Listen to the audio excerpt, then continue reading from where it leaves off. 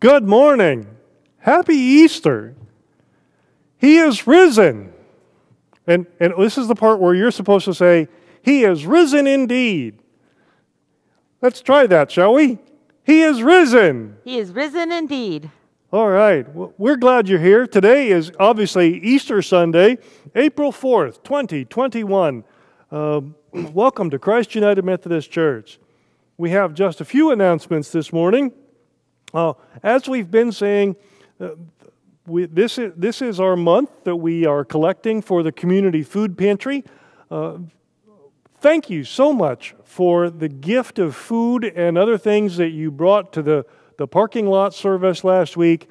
Uh, they are gratefully appreciated. Um, but we are going to collect all month long. And so if you look in the bulletin, uh, uh where you can find that online, um, there are, is a list of things. You're not limited to that list, but these are the suggested items hand and body soap, laundry detergent, toilet paper, tuna, and packaged meals such as hamburger helper, but not macaroni and cheese. Okay. Uh, the other two announcements are, are funeral announcements. Uh, Reverend Chris Martin uh, will be having the funeral for Joanne Werbung uh, Saturday, April 10th at 1:30 p.m. at the chapel at Highland Memorial Park. Once again, uh, Reverend Chris Martin is ha- will hold the funeral for Joanne Werbung Saturday, April 10th at 1:30 p.m. at the chapel at Highland Memorial Park. The funeral for Nancy Vickers is also on April 10th and at 1 p.m., but it will be here at Christ United Methodist Church. So the funeral for Joanne Werbung and for Nancy Vickers are both on April 10th, but Joanne Werbung is at the Highland Memorial Park, and Nancy Vickers' service is here at Christ United Methodist Church. Uh, so uh, please be watching for details about that.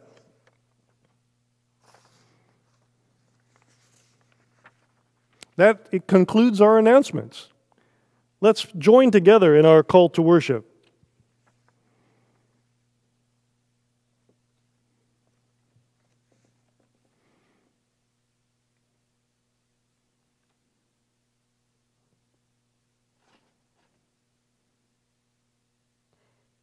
Give thanks to the Lord, for he is good. His love endures forever.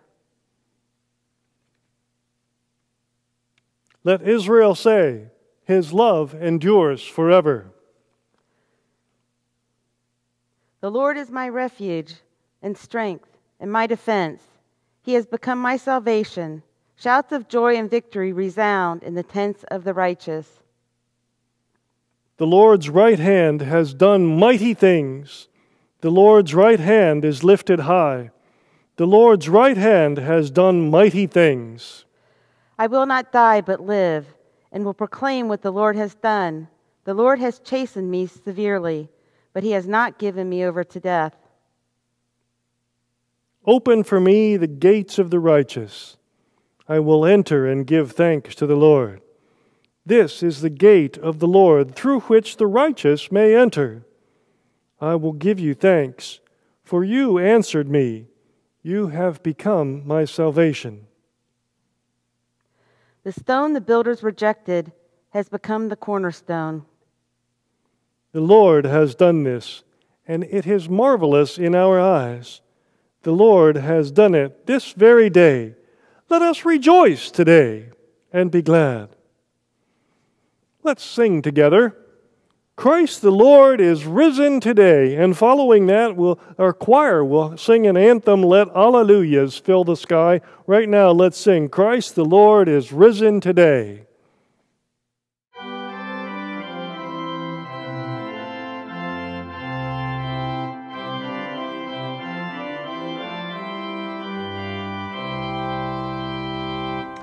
Christ the Lord is risen today.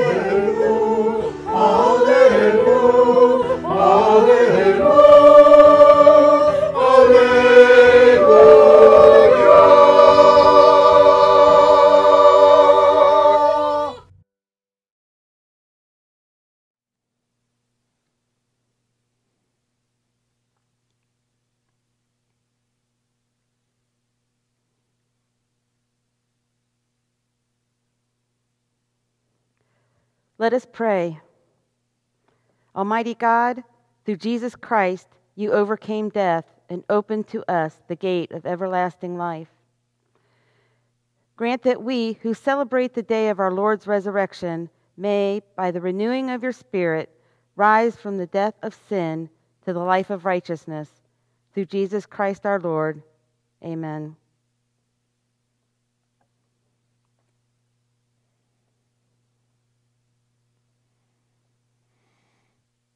We are three months early. Three months from today, July 4th, is our nation's birthday and a grand celebration of freedom and independence.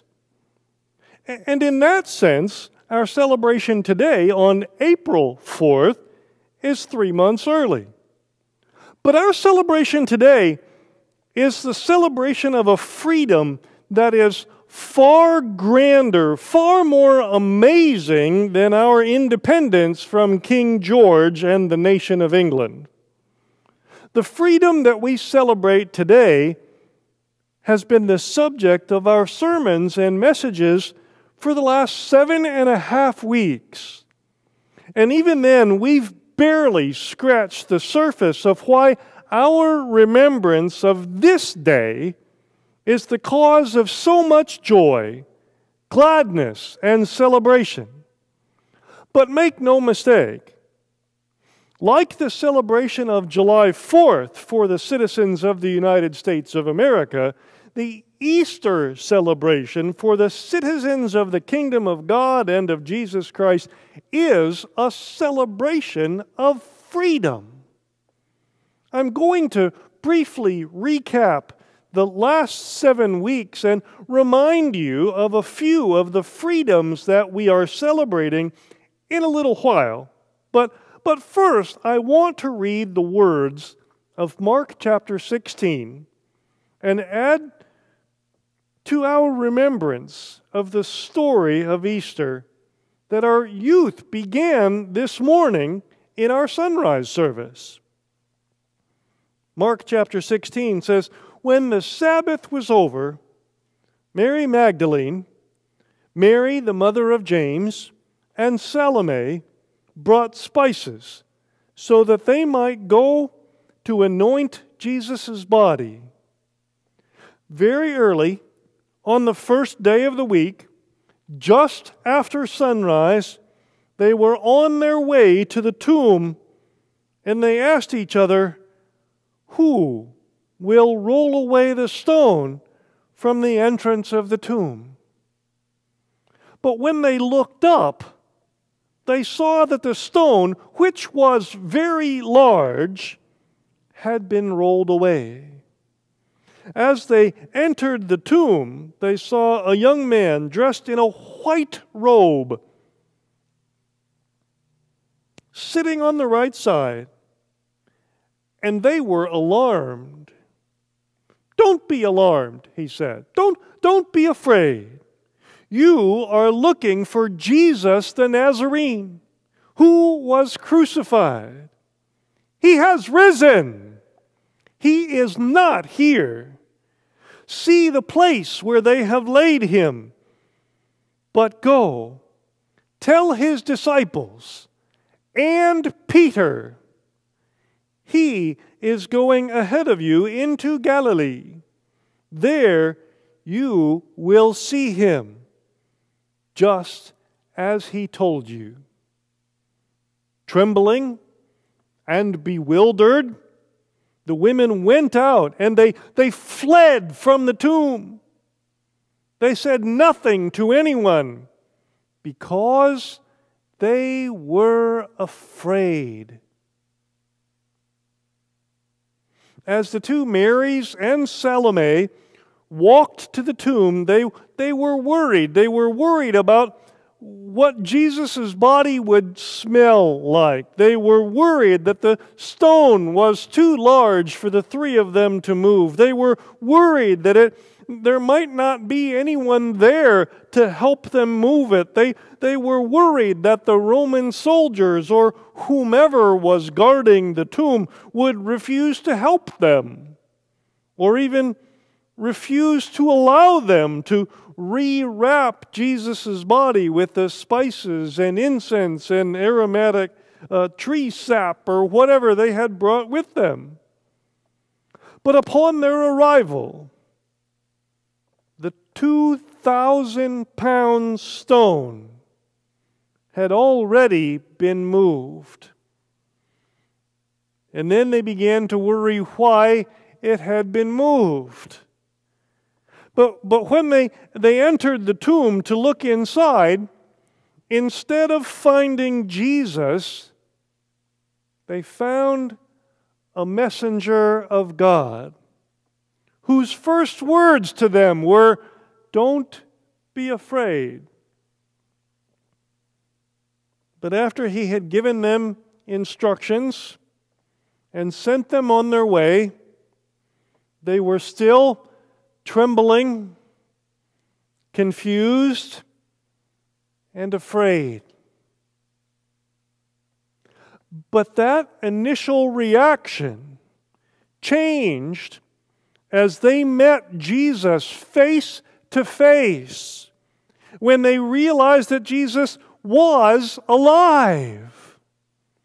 As time passed, they, they began to understand the things that Jesus had taught them, including the things about death, burial, and resurrection. All those things that had always been confusing suddenly began to make sense. They began to understand everything that they had seen and everything that had happened. Uh, uh, they understood that, that everything that happened during Holy Week happened exactly the way that Jesus said that it would happen, and exactly as the ancient prophets had described in the scriptures hundreds of years earlier.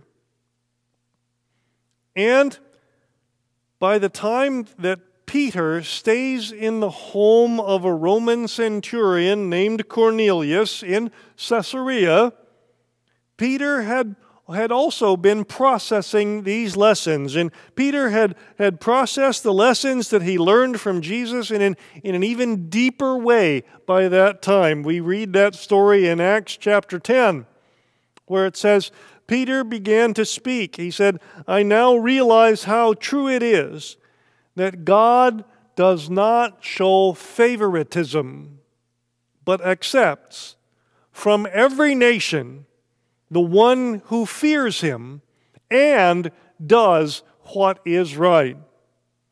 You know the message God sent to the people of Israel announcing the good news of peace through Jesus Christ, who is the Lord of all. You know what has happened throughout the province of Judea, beginning in Galilee after the baptism that John preached. How God anointed Jesus of Nazareth with the Holy Spirit and power, and how he went around doing good and healing all who were under the power of the devil because God was with him. We are witnesses of everything he did in the country of the Jews and in Jerusalem. They killed him by hanging him on a cross. But God raised him from the dead on the third day and caused him to be seen. He was not seen by all the people, but by witnesses whom God had already chosen, by us who ate and drank with him after he rose from the dead. He commanded us to preach to the people and to testify that he is the one whom God appointed as judge of the living and the dead. All the prophets testify about him that everyone who believes in him receives forgiveness of sins through his name. Peter realized that Jesus' fulfillment of the prophecies of the Old Testament had begun something entirely new and changed the way that God's people would engage with the world around them and change the way, uh, change their entire relationship with God. The new covenant, this new contract with God, was, was a contract without favoritism. without nepotism, without racism, and without judgment, except for the judgment of the one person who understood us best, who was perfect, just, and infinitely wise. And just a few decades after Peter, Paul having learned from the disciples as well as through his own experience in meeting Jesus and, having, having had even more time to, to process what he had learned and seen and heard, Paul writes to the church in Corinth to help them to understand what the life, death, and resurrection of Jesus meant to them and still means to each one of us. This comes from Paul's letter, 1 Corinthians chapter 15. Paul says, Now, brothers and sisters, I want to remind you of the gospel I preached to you, which you received, and on which you have taken your stand. By this gospel you are saved, if you hold firmly to the word I preached to you. Otherwise, you have believed in vain. For what I received, I passed on to you as of first importance that Christ died for our sins according to the Scriptures, that he was buried, that he was raised on the third day according to the Scriptures, and that he appeared to Cephas. Now remember, Cephas is is uh, uh, the same name as Peter, where he appeared to Cephas and then to the twelve. After that, he appeared to more than 500 of the brothers and sisters at the same time, most of whom are still living, though some have fallen asleep.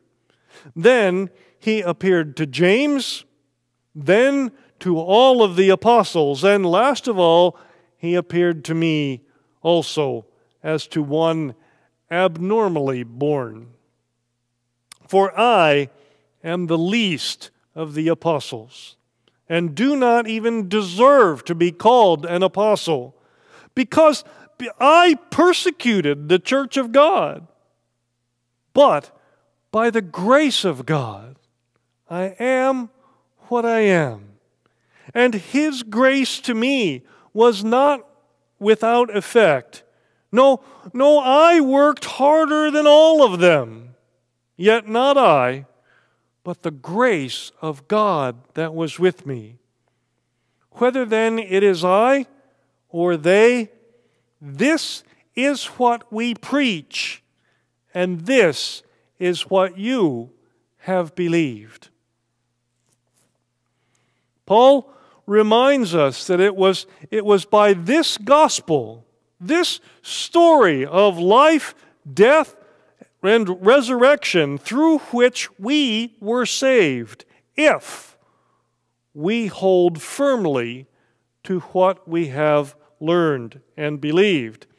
Paul knows that his Paul knows what his life was like before he met Jesus. Paul knows that, that he is utterly undeserving of God's rescue, let alone the honor of being counted among the disciples of Jesus Christ. Paul remembers that he had been so anti Jesus that he had become known as the hunter of Christ followers. The, he had become known as the man who, who had the followers of Jesus arrested and tortured and, and worse. And because he was who he was, and because of the life that he once lived, Paul understands the depth of God's mercy and grace through the story of Easter, through the life, death, and resurrection of Jesus, Paul had found freedom. And that freedom has flowed down through history to us. It is a freedom that is far grander than anything we celebrate on July 4th. It is more than our freedom from King George and the nation of England. It's more than the freedoms enumerated in the Constitution of the United States and the Bill of Rights. The message of the gospel is a message of many freedoms. Mary and Mary and Salome learned that it is a message of freedom from fear. Peter learned that it was a message of freedom from favoritism, nepotism, racism, and nationalism. Paul learned that it is a message of mercy, grace, and freedom from our past. And as we've learned over the last seven and a half weeks, it's a message of freedom from corruption, rescue from the flood, freedom from the law of Moses, freedom from the demands of other gods, a message of keeping God at the center of our lives, freedom from the misplaced priorities and wisdom of the world, freedom from our failures, freedom from our guilt freedom from suffering, freedom from sin, and even freedom from death. And that is why we repeat this story year after year, and why Easter should be filled with joy. The message of Easter was a story about freedom long before the events of the Revolutionary War and long before July 4th had any meaning, meaning at all to the citizens of North America. We celebrate Easter today because today is the day when God gave us the immeasurable gift of freedom. Happy Easter, everyone.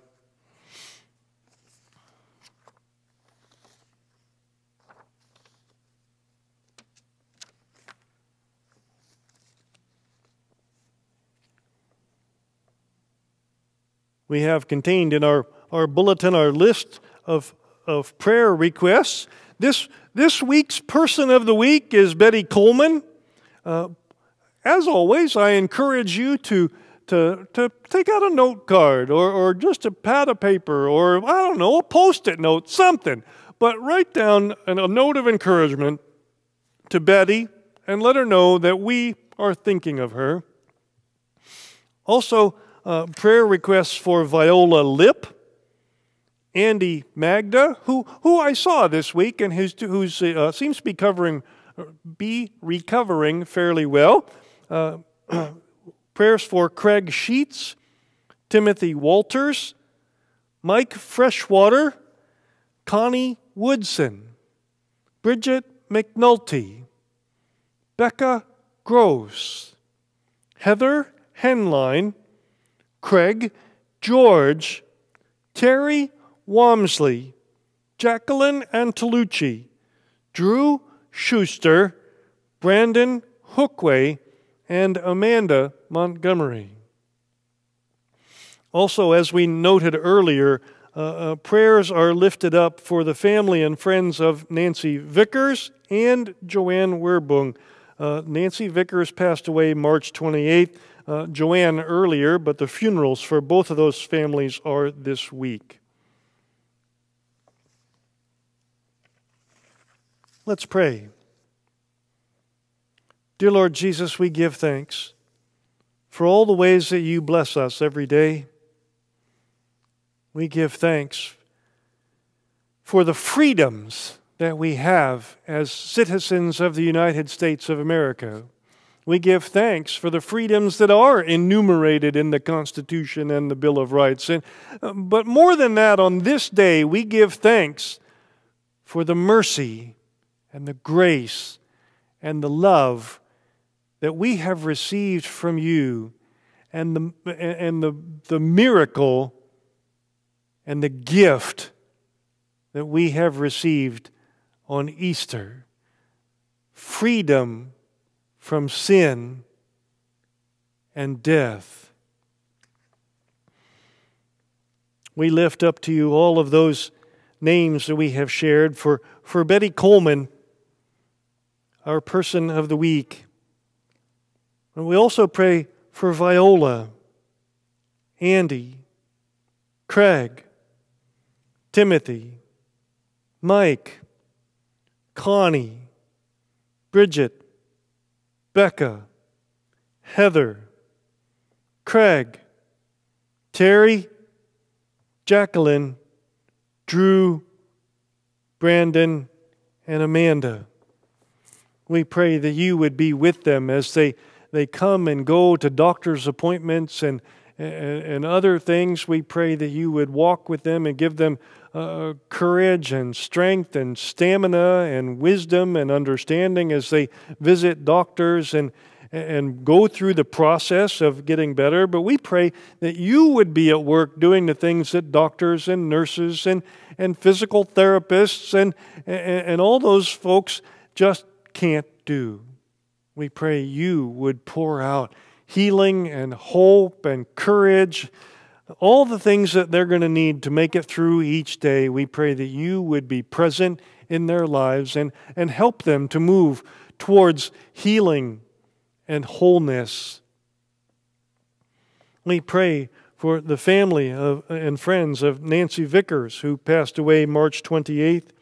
And we pray for the family and friends of Joanne Werbung, whose funeral is also uh, coming up on the 10th. We give thanks, O Lord, for all the gifts you have given to us, especially for this joyful day of Easter. We give thanks for your Son Jesus, who taught us this prayer Our Father, who art in heaven, hallowed be thy name. Thy kingdom come, thy will be done, on earth as it is in heaven. Give us this day our daily bread and forgive us our trespasses, as we forgive those who trespass against us. And lead us not into temptation, but deliver us from evil. For thine is the kingdom, and the power, and the glory forever. Amen. Before we move on to our closing hymn, I want to say at one time be prepared. You know what you're supposed to do. He is risen. He is risen indeed. Happy Easter, everyone.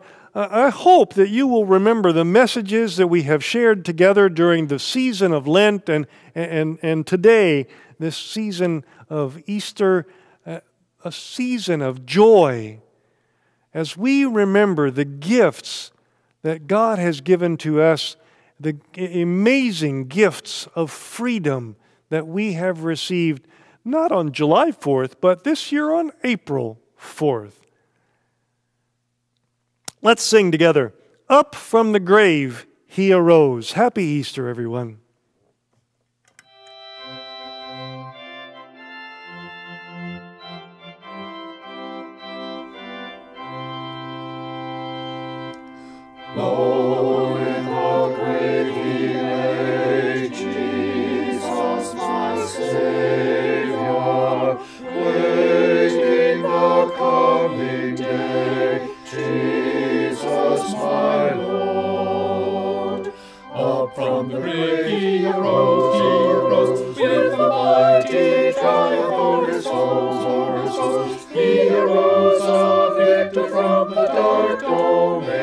His bed, Jesus.